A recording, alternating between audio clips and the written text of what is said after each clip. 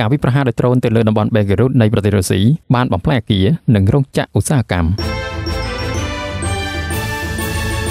ពេញមួយយប់កាលពីថ្ងៃទី6ខែកក្កដាការវិប្រហារដោយយន្តហោះគ្មានទូបើកបានវិប្រហារទៅលើទីក្រុង Zebetkinko ក្នុងតំបន់ Belgorod នៃប្រទេសរុស្ស៊ីដោយបានធ្វើឲ្យខូចខាតអគារយានយន្តនិងកន្លែងឧស្សាហកម្មជាច្រើននិងបណ្ដាលឲ្យមនុស្សម្នាក់រងរបួសនេះបើយោងតាមការបញ្ជាក់របស់អភិបាលខេត្តលោកវិយាចេស្លាវខ្លាត់កៅ របាយការណ៍នៃការវិប្រហារដោយយន្តហោះគ្មានមុខបើកទៅលើតំបន់ Belgorod ដែលនៅជាប់នឹងតំបន់ស៊ូមីខាគៀវនិងលូហានរបស់អ៊ុយក្រែនបានคล้ายទៅជារឿងធម្មតានៅក្នុងប៉ុន្មានខែថ្មីៗនេះ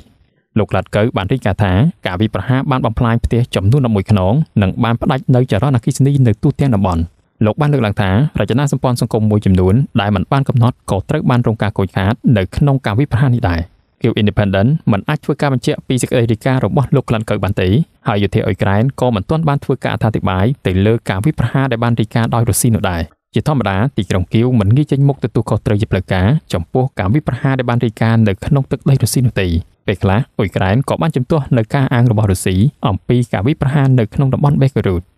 នុងអំឡុងពេលចុះមាសទី1នៃឆ្នាំនេះអ៊ុយក្រែនបានកំណត់គោលដៅយ៉ាងខ្លាំងទៅលើហេដ្ឋារចនាសម្ព័ន្ធប្រេងនិងឧស្សាហកម្មការពារជាតិរបស់រុស្ស៊ីជាមួយនឹងការវិប្រហារជាបន្តបន្ទាប់នៅព្រឹកព្រលឹមថ្ងៃទី6ខែកក្កដាការវិប្រហារដោយយន្តហោះគ្មាននោះបើកនៅក្នុងតំបន់ក្រាស្នូដាក្រៃរបស់រុស្ស៊ីដែលបណ្ដាលឲ្យមានអគ្គិភ័យនៅឃ្លាំងផ្ទុកប្រេងចំនួន2និងបានបំផ្លាញដល់ប៉មទំនាក់ទំនងមួយនេះបើយោងតាមរបាយការណ៍ពីប្រព័ន្ធផ្សព្វផ្សាយផ្សេងៗរបស់រុស្ស៊ី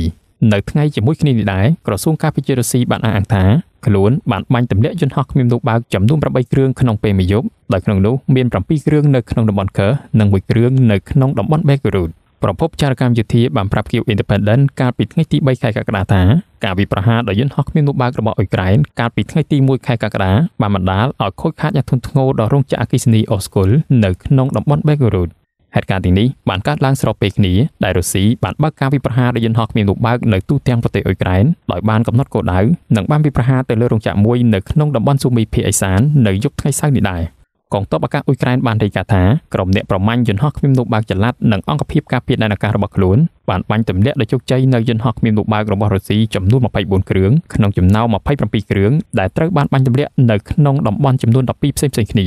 យូក្រែនណក្រូដែលជាប្រតិបត្តិការបណ្ដាញអគ្គិសនីជាតិបាននិយាយថាកន្លែងថាពលនៅក្នុងតំបន់ស៊ូមីត្រូវបានរងការខូចខាតដោយត្រូវការការបិទអគ្គិសនីជាបន្ទាន់សម្រាប់អ្នកប្រើប្រាស់ឧស្សាហកម្មនៅក្នុងតំបន់ស៊ូមីដោយបានបន្ថែមថាក្រុមអ្នកជួសជុលបច្ចុប្បន្នកំពុងធ្វើការដើម្បីស្ដារថាមពលទាំងនេះឡើងវិញបច្ចុប្បន្ននេះមិនទាន់មានរបាយការណ៍ភ្លាមៗអំពីការស្លាប់និងរបួសឬព័ត៌មានលម្អិតបន្ថែមអំពីការខូចខាតនៅក្នុងតំបន់ដែលរងគ្រោះនោះទេ ចាប់តាំងពីខែមីនាមកកងកម្លាំងរុស្ស៊ីបានបង្កើនការវិប្រហាររបស់ពួកគេទៅលើវិស័យថាពលរបស់អ៊ុយក្រែនដោយបានបំផ្លាញកន្លែងថាពលកម្ដៅនិងវារីអគ្គិសនីជាច្រើនហើយបណ្ដាលឲ្យមានការកាត់ផ្ដាច់អគ្គិសនីនៅក្នុងរយៈពេលដ៏យូរនៅទូទាំងប្រទេស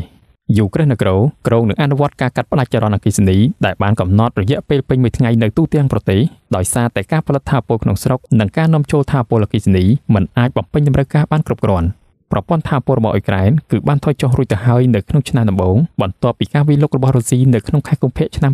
2022ក្នុងរយៈពេល4ខែកន្លងមកនេះការវិប្រហារដោយមីស៊ីលនិងយន្តហោះគ្មានលោកបើករបស់រុស្ស៊ីបានកាត់បន្ថយសមត្ថភាពផលិតប្រហែលជាពាក់កណ្ដាលនៃប្រព័ន្ធថាពលសរុបរបស់អ៊ុយក្រែន។